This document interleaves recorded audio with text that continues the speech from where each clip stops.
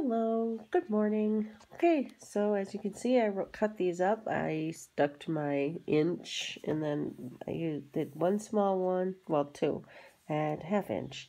So anyway, these ones are going to make interesting beads, I think. So one side, one part of it will be dark blue and the other part will be light blue, depending on which, you know, or light blue, then dark blue. Yeah, it'll be cool. Okay.